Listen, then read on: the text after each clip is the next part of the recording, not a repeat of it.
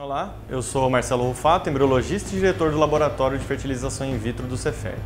O time-lapse no desenvolvimento dos embriões ou monitoramento embrionário 24 horas é hoje o que existe de mais moderno em reprodução assistida no mundo. Nós do Cefep utilizamos um equipamento que possui uma câmera que monitora os embriões de dentro da incubadora 24 horas por dia. São geradas fotos automaticamente durante todo o desenvolvimento dos embriões e um vídeo de todo o processo no final do tratamento. Essa é uma tecnologia que permite uma avaliação dos embriões de maneira não invasiva e também possibilita ao embriologista uma seleção mais criteriosa dos embriões para serem transferidos.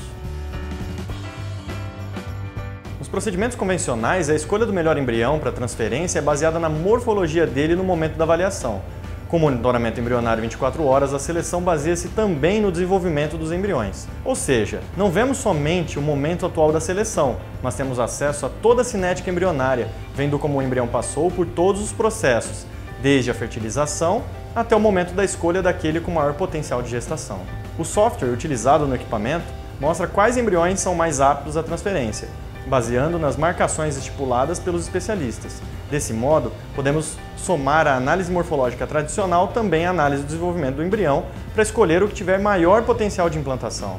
Além disso, os embriologistas, os médicos e até os pacientes podem ver os embriões a qualquer momento, porque o equipamento permite um monitoramento remoto através de celular ou tablet.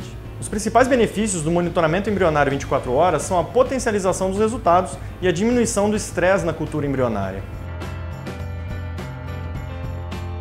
As imagens de alta qualidade permitem a monitorização detalhada dos embriões e avaliações morfológicas precisas, detectando mudanças no desenvolvimento que não são identificadas normalmente, como a divisão assíncrona ou alterações morfológicas relevantes. O sistema de monitorização, que é colocado dentro da incubadora, evita a movimentação desnecessária dos embriões ou a sua exposição à luz para avaliação no microscópio, gerando embriões com menos interferências do meio externo. O laboratório do Cefep é um dos poucos do país a contar com essa tecnologia, propiciando inúmeros benefícios aos pacientes em tratamentos de fertilização in vitro.